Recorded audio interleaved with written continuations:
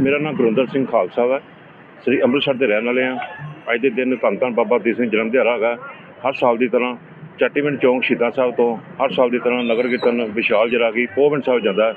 ਜਿਹਦੇ 'ਚ ਸੰਗਤਾਂ ਦੇਸ਼ ਵਿਦੇਸ਼ ਸਾਰਾ ਪੰਜਾਬ, ਸਾਰਾ ਅੰਮ੍ਰਿਤਸਰ ਸਾਰੀ ਸੰਗਤ ਪੈਦਲ ਹੀ ਜਾਂਦੀ ਹੈ। ਜਿਹੜੀ ਕਿ ਬੱਸਾਂ ਦੇ ਜਿਹੜੇ ਜਾਂਦੇ ਨੇ ਉਹ ਲੇਟ ਪਹੁੰਚਦੇ ਜਿਹੜੇ ਪੈਦਲ ਜਾਂਦੀ ਸੰਗਤ ਪਹਿਲਾਂ ਪਹੁੰਚ ਜਾਂਦੀ। ਇੰਨੀ ਸੰਗਤ ਦਾ ਜੋਰ ਹੁੰਦਾ ਹੈ, ਇੰਨੀ ਬਾਬਾ ਜੀ ਦੀ ਕਿਰਪਾ ਹੈਗੀ ਹੈ ਇੰਨੀ ਖੁਸ਼ੀ ਮਿਲਦੀ ਹੈ। ਜਿਹੜਾ ਵੀ ਇੱਕ ਵਾਰ ਗੁਰਦੁਆਰਾ ਸਾਹਿਬ ਸੁਖਨਾ ਸੁੱਖ ਕੇ ਜਾਂਦਾ ਹੈ ਉਹ ਹਰ ਸਾਲ ਮਤਲਬ ਕਿ ਅੱਗੇ ਅੱਗੇ ਆਉਣ ਵਾਲੇ ਸਮੇਂ 'ਚ ਡਬਲ ਸਮਨ ਕਰਕੇ ਲੈ ਜਾਂਦਾ। ਹੈ।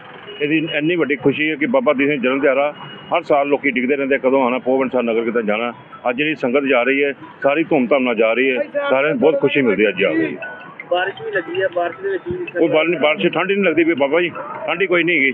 ਅੱਜ- ਕਿਰਪਾ ਹੈ ਕਿ ਬਾਰਿਸ਼ ਨੂੰ ਵੀ ਨਜ਼ਰਅੰਦਾਜ਼ ਕਰਕੇ ਸੰਗਤਾਂ ਜਿਹੜੀਆਂ ਦਾਸ? ਨਿਸ਼ਾਨ ਸਿੰਘ ਬਾਨਪੁਰਾ। ਬਾਬਾ ਜੀ ਦੇ ਜਨਮ ਦਿਹਾੜੇ ਦੀਆਂ ਸਮੂਹ ਸ਼ਹਿਰ ਵਾਸੀਆਂ ਨੂੰ ਲੱਖ ਲੱਖ ਵਧਾਈ ਹੋਵੇ ਜੋ ਅੱਜ ਨਗਰ ਕੀਰਤਨ ਬਾਬਾ ਜੀ ਦਾ ਗੁਰਦੁਆਰਾ ਜਨਮ ਸਥਾਨ ਪਿੰਡ ਪੌਂਡ ਸਾਹਿਬ ਜਾ ਰਿਹਾ ਹੈ। ਲੱਖਾਂ ਦੀ ਤਦਾਦ ਦੇ ਵਿੱਚ ਸੰਗਤਾਂ ਜਿਹੜੀਆਂ ਉਤਸ਼ਾਹ ਬਹੁਤ ਜ਼ਿਆਦਾ ਹੈ ਸੰਗਤ ਦੇ ਵਿੱਚ।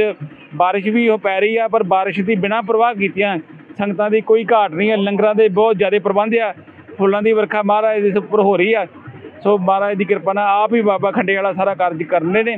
ਵਾਹਿਗੁਰੂ ਜੀ ਕਾ ਖਾਲਸਾ, ਵਾਹਿਗੁਰੂ ਜੀ ਕੀ ਫਤਿਹ। ਇਹ ਸੀ ਗੁਰਦੁਆਰਾ ਸ਼ਹੀਦਗੰਜ ਸਾਹਿਬ ਚਾਟੀਵਿੰਡ ਚੌਂਕ ਤੋਂ ਆਰੰਭ ਹੋ ਕੇ ਬਾਬਾ ਜੀ ਦੇ ਜਨਮ ਸਥਾਨ ਗੁਰਦੁਆਰਾ ਪਿੰਡ ਪੌਂਡ ਸਾਹਿਬ ਜਨਮ ਸਥਾਨ ਬਾਬਾ ਜੀ ਦਾ ਉੱਥੇ ਜਾ ਰਿਹਾ ਹੈ।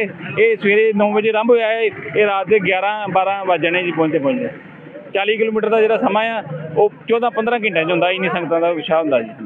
ਨਿਰੰਤਰ ਪੈਦਲ ਯਾਤਰਾ ਚੱਲ ਰਹੀ ਹੈ। ਔਰ ਬੱਸਾਂ ਗੱਡੀਆਂ ਟਰੱਕ ਬੱਸਾਂ ਕਾਰਾਂ ਮੋਟਰਸਾਈਕਲ ਸਕੂਟਰ ਤੇ ਵੀ ਸੰਗਤਾਂ ਬਹੁਤ ਜ਼ਿਆਦਾ ਹੁਮ ਹੁਮਾ ਕੇ ਪਹੁੰਚਦੀਆਂ ਨੇ।